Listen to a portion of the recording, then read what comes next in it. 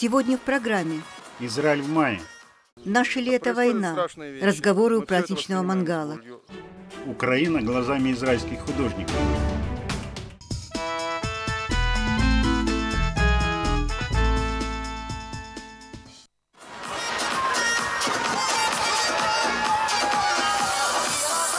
Май в Израиле – это время праздников и памятных дат.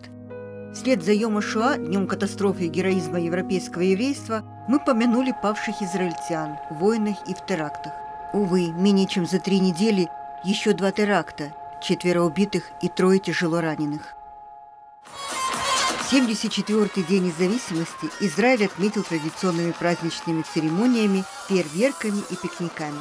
Но было и кое-что новое – Например, во время традиционного авиашоу военные и гражданские самолеты впервые пролетели над Хевроном и Гуш-Ционом в Иудее. Раньше это зрелище могли наблюдать в основном жители центра страны. Также впервые в авиапараде принял участие знаменитый израильский беспилотник «Эйтан». еще одно весьма знаковое событие – Впервые в истории еврейского государства почетное право зажечь один из 12 факелов на церемонии Дня независимости на горе Герцля было предоставлено не гражданину Израиля. От имени всех евреев Украины факел зажгла Елизавета Шерстюк из города Сумы. На честь усіх єврейських організацій в світі, які свято виконують заповідь. Всі євреї відповідальні одне за одного. Когда открылся гуманитарный коридор, Елизавета Шерстюк организовала операцию по вывозу из опасного района около 150 человек. Свою речь на государственной израильской церемонии Елизавета Шерстюк произнесла на украинском языке, и это тоже было впервые. Война в Украине нарушила еще одну традицию. В городах Израиля впервые за много лет был отменен парад ветеранов Второй мировой войны. 9 мая, День Победы, который в Израиле празднуется на государственном уровне, на сей раз отметили скромнее – поминальной церемонии у памятника погибшим воинам евреев на военном кладбище на горе Герцля. Происходящее в Украине повлияло на порядок вещей не только на государственном уровне. Эта беда, даже если не коснулась напрямую, омрачает жизнь многих израильтян, в том числе и в праздники. Пожалуй, не было в эти дни ни одного пикника или застолья, где русскоязычные израильтяне не обсуждали бы эту наболевшую тему. Смотрите об этом наш следующий сюжет.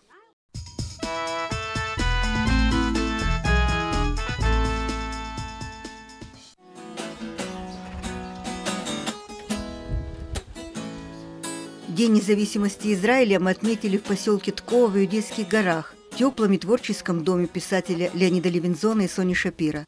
Собрались друзья и люди совсем незнакомые, и, конечно, очень разные. Совсем свежие репатрианты из Киева и Москвы, и старожилы из разных городов Израиля, выходцы из Украины, России и других мест бывшей Советской империи. Это был замечательный пикник с шашлыками, вином, песнями. И все же, и все же – Йом Ацмаут – очень веселый праздник, но в этом году он немножко омрачен, по крайней мере, для многих выходцев из Украины, да и из России тоже. Наша ли это война? Ведь говорят, что у евреев своя судьба, своя жизнь.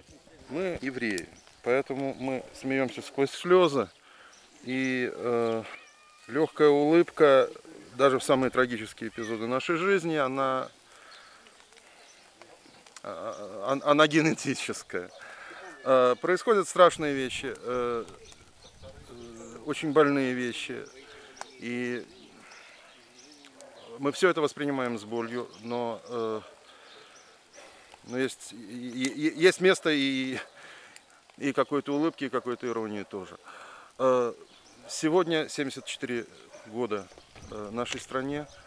Э, я уже больше половины жизни провел в Израиле. Э,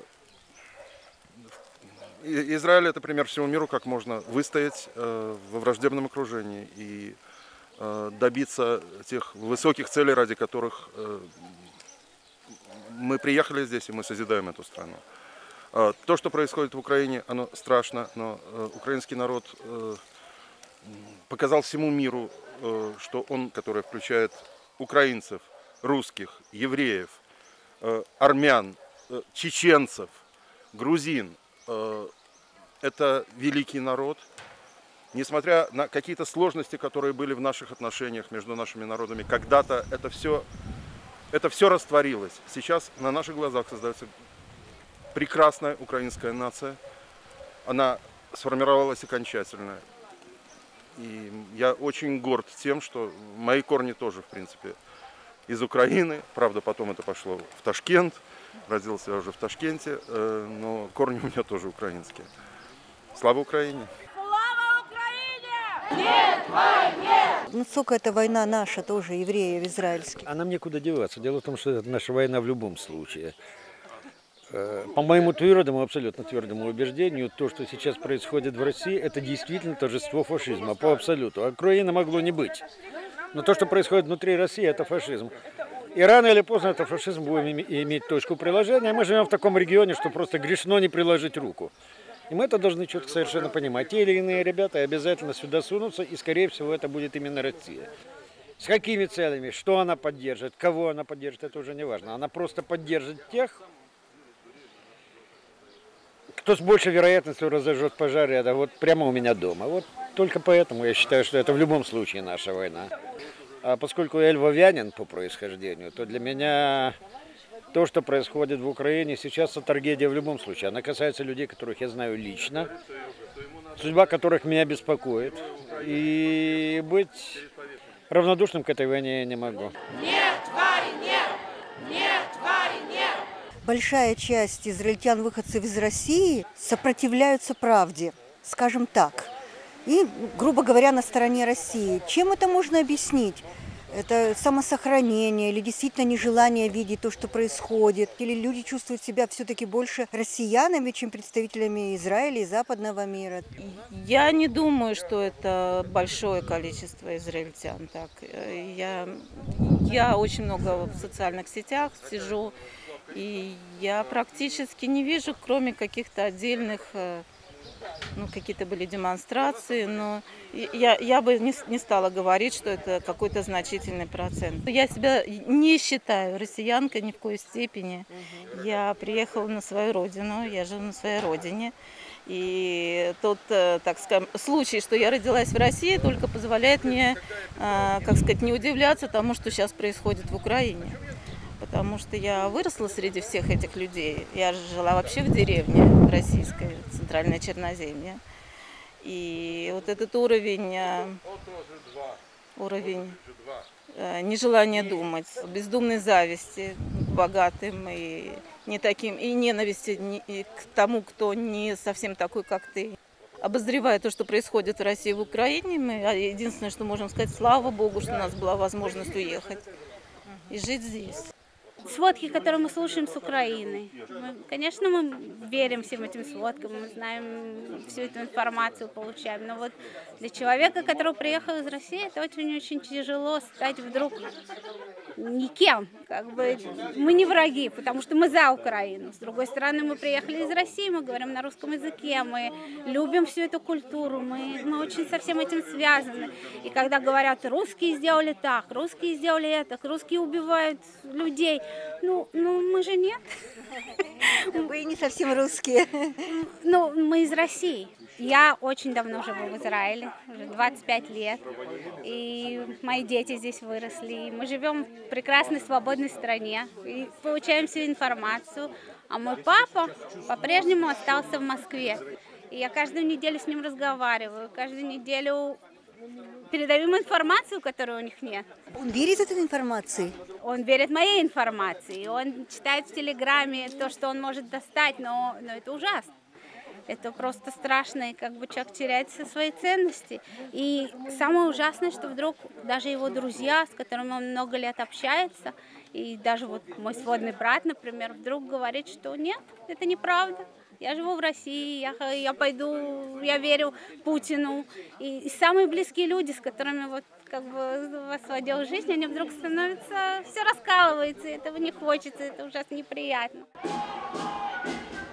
Антисемитизм и то, что украинцы делали во время Второй мировой войны, были пособниками гитлеровцев и так далее. Как вы полагаете, надо ли нам наказывать сейчас украинцев за то, что произошло много лет тому назад? Люди, которые страдают сегодня, они не имеют никакого отношения к тем, кто совершал погромы. И э, те, кто были пособниками Гитлера, не имеют никакого отношения к тем жертвам, к тем ужасам, которые происходят в Украине. В какой-то степени подло э, брать э, весь наш э, негативный опыт, связанный с э, Украиной, и обрушивать на людей, которые являются жертвами в чистом виде. Государство в окружении врагов очень много своих проблем. Более того, есть опасность из-за ухудшения отношений с Россией, что может открыться второй Северный фронт. Вот такой ценой вы полагаете, все равно Израиль должен иметь четкую определенную позицию в этом конфликте? Ну, конечно, людей убивают. Но не будет никаких оправданий, если мы эту позицию не э, пропишем достаточно четко и не будем помогать Украине, потому что эм, все те опасения, которые связаны с поддержкой э, России в э, Сирии, э, они не являются каким-то э, практическим соображением, которое мы действительно можем трансформировать и сказать, да, действительно, если мы сегодня э, передадим беспилотники э, Украине или, не знаю, шлемы, э, артиллерию или что-то подобное, то завтра э, русские немедленно откроют войну. Я полагаю, что у русских есть свои соображения, они э, могут открыть войну без того, чтобы э, мы что-то сделали. И высказывания людей типа Лаврова и всех остальных, они показывают, что э, мы имеем дело с э, отмороженными орками. И как именно они будут поступать в Сирии, ну, предугадать невозможно. Э, И связывать эти две вещи, это непростительно, на мой взгляд. Должен ли Израиль в таком случае, плюнув на Москву, потому что все равно все будет плохо, помочь, реально помочь Украине? Мне бы, очень, мне бы очень этого хотелось, очень хотелось бы, чтобы так именно и было. Но насколько это реально, дело в том, что наш весь мир построен на том, э, в каком объеме мы держим эту информацию. У меня есть подозрение, что мы не обладаем, действительно не обладаем всей информацией, потому что так построено общество. Не потому что сидят где-то страшные заговорщики. А не обладая всей информацией, нам очень легко решать проблемы вот здесь за столом, мы сегодня празднуем. Э, На переговорах, особенно на переговорах, касающихся не политических, а экономических аспектов, по-моему, нам было бы намного тяжелее, чем нашим руководителям. Как бы я к ним плохо или хорошо не относился. Прежде всего, Израиль вынужден блюсти свои интересы. а Израиль находится всегда в положении не очень, не очень уверенном, комфортном, враги вокруг. И отношения с Россией это не э, для удовольствия, для радости. Это историческая, жизненная, географическая, политическая необходимость. И поэтому я думаю, что я как раз совершенно не осуждаю э, то, что делает Израиль. Я думаю, что Израиль очень помогает по мере возможного и как государство, и люди в частности. И мне кажется, что требовать и ждать от Израиля большего немножечко неправомерно, потому что прежде всего, и это говорит даже Арестович в Украине, страна должна блюсти интерес своих граждан. И было бы неправомерно, чтобы Израиль подставлял своих людей в пользу других, как бы цинично это ни звучало. Сейчас э, очень многие, даже очень известные россияне приезжают в Израиль, я бы сказала, пересидеть, да? Э, Дождаться неизвестно чего, правда, но тем не менее успеть до закрытия железного занавеса. Как ты к этому относишься? Я не, не считаю, что человек э, как бы приехал и должен жить только там, где... Это- на самом деле мы просто имеем возможность помочь людям, которые потеряли свою родину. Это действительно произошло. Я, я считаю, что возможность получить израильское гражданство, а потом жить там, где им удобно, где они могут зарабатывать себе на жизнь. Потому что на Израиле особо не заработаешь литературой вот, и всеми этими концертными турами. Э, Я считаю, это абсолютно нормально. Я, у меня нету какого-то к ним, э, как сказать, а вот приехали, сейчас возьмут наши деньги и уедут. Ну, это смешно. Израиль создан для того, чтобы дать возможность евреям спастись от беды. Это то, что сейчас происходит. У нас сейчас много новых репатриантов, слава богу, или наоборот, из Украины, из Да, э, это тот России. случай, когда одновременно слава Богу и не слава Да, Богу. да. И вот у нас есть возможность как бы с первых э, уст узнать, что, как, почему. Я всегда, честно говоря, у евреев спрашиваю, ну, может быть, они совсем относятся к э, нынешней ситуации, хотя и относятся. А почему в таком случае так поздно? Я плохой еврей. Я неправильный еврей. Я не иудей, то есть в том смысле не иудаист, да, я не религиозный человек. А для меня идеи сионизма никогда не были важными. Я не планировал свою жизнь в Израиле. А, Я ни о чем об этом почти не думал. Я думал только о том, что здесь я могу провести остаток своих дней, когда не смогу зарабатывать в Киеве. Как бы цинично это ни звучало, но это правда. И э, речь идет уже не об остатке дней, а о попытке э, немолодого человека без профессии, э, которая вот здесь была бы актуальной, устроить свою жизнь. Потому что в Украине эта жизнь стала невозможной совершенно. Почему? А, По двум причинам. Во-первых, э, я думаю, что эта война очень надолго, к сожалению. Во-вторых, то, чем я занимался э, в Украине, стало абсолютно не нужно. Культурная журналистика сейчас в Украине, в Киеве не нужна по понятным причинам. Журналистика вообще, безусловно, нужна, публицистика нужна, все, что относится к политике, к социальным каким-то вещам, к войне нужно, а вот культура э, в загоне, да, когда пушки говорят, музы помалкивают. А вот, и э, то, что я решил сюда приехать, это было спонтанное совершенно решение, и не потому, что э, здесь медом намазано, э, вот, и молочные реки, кисельные берега, а потому что действительно э, там вариантов нет, а про варианты здесь я еще не знаю. В принципе, это нормально, что люди бегут тогда, когда их жизни угрожает опасность, и что они хотят вернуться домой тогда, когда эта опасность уходит или уменьшается. А если представить, что это мои близкие находятся в ситуации, когда у них война или когда государство напало на другое государство, и понятно, что никакой хорошей жизни в ближайшее время там не будет, то да, я хочу, чтобы у моих близких была возможность прибежать и пересидеть или остаться, как уже они захотят, Поэтому я отношусь к этому с пониманием, хотя есть вопросы, у меня нет ответа однозначно на этот вопрос, но я могу сказать совершенно точно, что я не осуждаю это. Огромное спасибо добрым евреям. Потому что э, как бы я ни относился ко всему этому, каким бы безродным космополитом я себя не чувствовал, но это то, э, что отличает этот народ от многих других. Евреи всегда помогают своим, никогда своих не бросают. Это исключительная черта, на мой взгляд. Э, Уже почему она так сформировалась, в общем, тоже вопрос риторический. Но благодарность моя безмерна.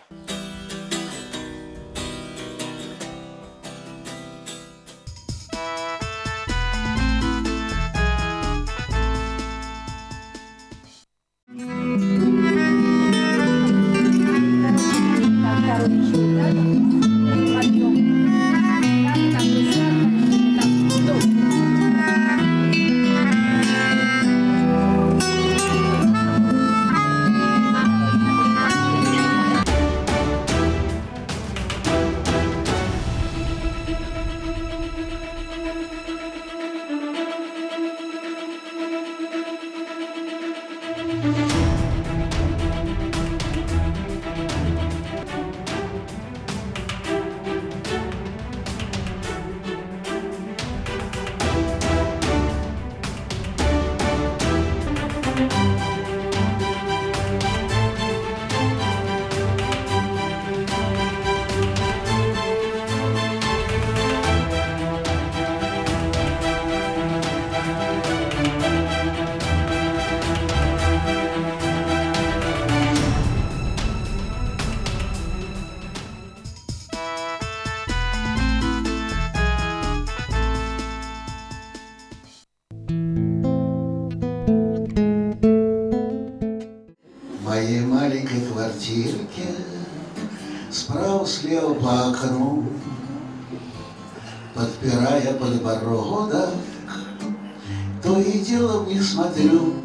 поражаясь ежечасно.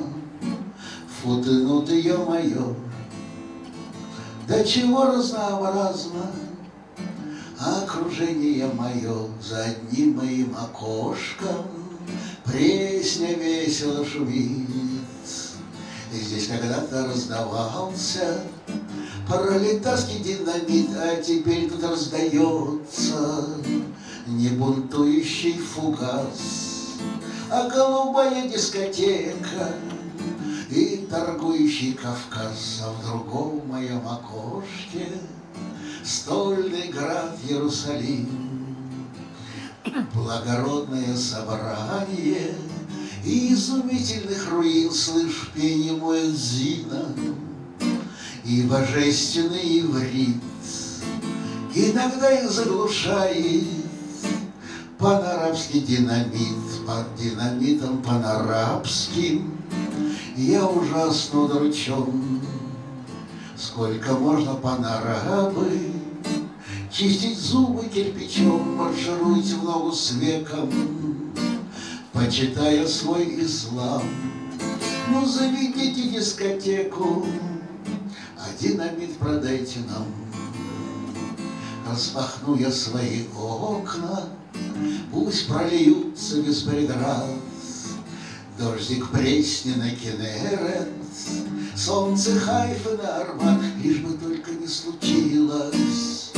Как приснилось мне во сне Что отчаянный Израиль Объявил войну Москве Поток людей, поток машин, шумлив и бесконечен, А запах маленьких кафе почти невыносим.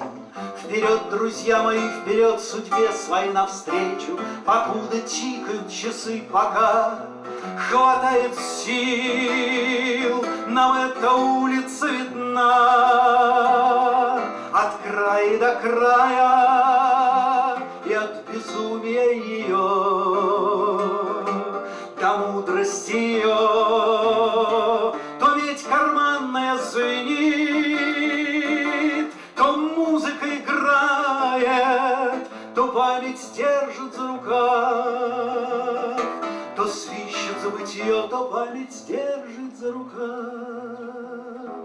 свищет забытье. Торговец выставит товар на красочных витринах, Валютчик спросит втихаря, не нужно ли чего. Хасиды в черных сюртуках похожи на пингвинов, И девы смуглые вершат гипноз и колдовство. Нам эта улица дна от края до края и от безумия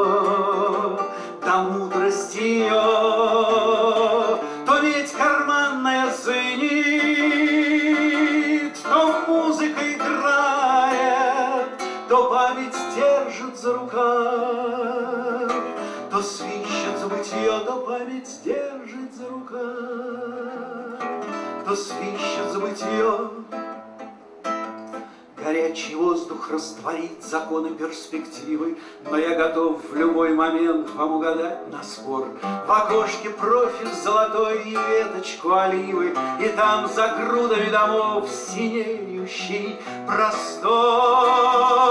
Нам эта улица дна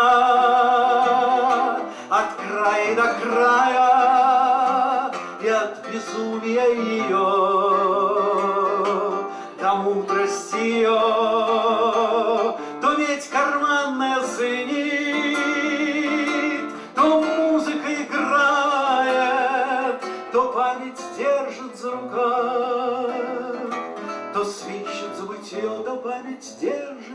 chuva dos filhos